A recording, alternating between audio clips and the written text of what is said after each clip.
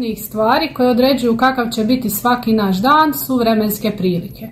One utječu na naše raspoloženje, određuju naše odjevne kombinacije i utječu na to kako ćemo provesti naše slobodno vrijeme. Upravo zbog važnosti vremena i klime za sve ljude na zemlji odabrala sam biti meteorolog.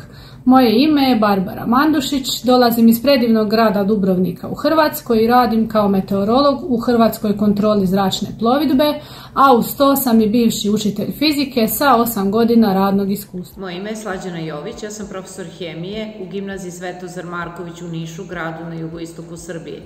Radim u odeljenjima koji slušaju hemiju na engleskom jeziku prirodno-matematičkog smera, kao i u specializovanim odeljenjima koji se spremaju po IB programu za međunarodnu diplomu. Svoje primere dobre prakse kojima primenjujem STEAM i CLIL metode, rado delim sa kolegama kroz različite radionice koje sam vodila u Evropi i u Srbiji. Вітаю! Мене звуть Ганна Дудіч. Я учитель англійської мови та заступник директора, відповідальна за впровадження STEM освіти в ліцеї імені Тараса Шевченка Кропивницької міської ради в Україні. На уроках англійської мови ми вивчаємо не лише граматику і лексику. Ми інтегруємо вивчення іноземної мови з географією, історією, екологією, математикою та іншими дисциплінами. Мені подобається поєднувати мистецтво, гуманітарні та природничі дисципліни. Інтегровані уроки англійської мови є хорошим прикладом співпраці в галузі STEM.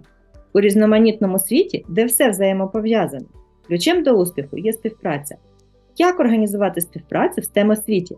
У нас є декілька порад і прикладів успішних практик. Tijekom godina u kojima sam radila kao učitelj, trudila sam se svojim učenicima približiti fiziku na najjednostavniji način. Kao jedan od odličnih alata za postići takav način poučavanja pokazala se projektna nastava i to pogotovo ona sa interdisciplinarnim načinom poučavanja, ali sa uključenim STEM stručnjacima. Jedan od takvih projekata je STEM IT projekt koji sam odradila sa svojim kolegicama učiteljicama biologije, kemije, matematike i informatike.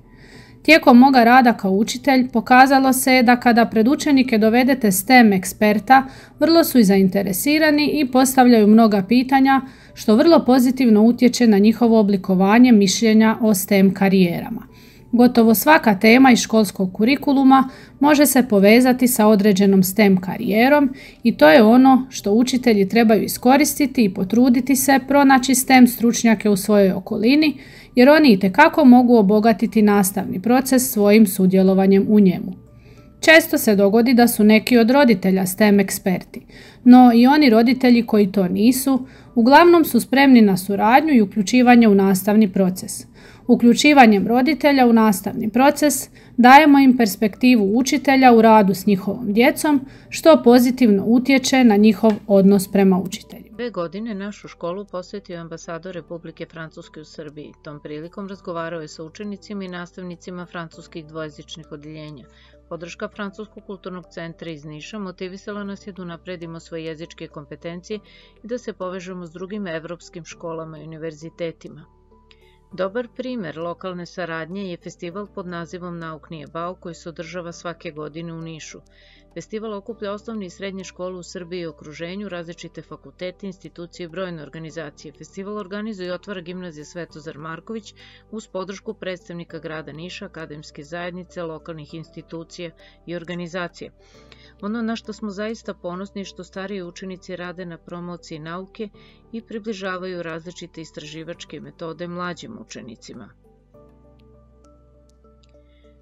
Učenici sa posebnim potrebama aktivno učestvuju na radionicama i uključeni su u rad tokom eksperimenata.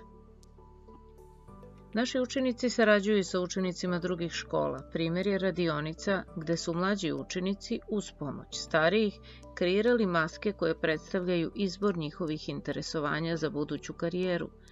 Ovo su dobri primjeri saradnje učenika različitih generacija і različitih школа. Кілька років тому ми вирішили провести загальношкільний захід, який би об'єднав усі навчальні дисципліни та учнів різного віку навколо одного об'єкта дослідження. Тож у нас виникла ідея STEM-арт фестивалю Яблуко, У центрі проєкту було яблуко. Учні досліджували яблуко з точки зору різних шкільних предметів. На біології вивчали, де ростуть яблука, на хімії, чому яблуко темніше, коли його розріжеш. На уроках рідної та іноземної мови вивчали прислів'я та фразеологізми зі словом яблуко. На літературі читали казки та оповідання про яблука, досліджували яблука в мистецтві та кулінарії, опитували стем професіоналів, чия робота пов'язана з яблуками, місцевих фермерів, косметологів, харчових технологів та дієтологів. Учні досліджували цю тематику протягом тижня, а потім представляли свої висновки на заключній конференції, де вони також провели stem експерименти з яблуками.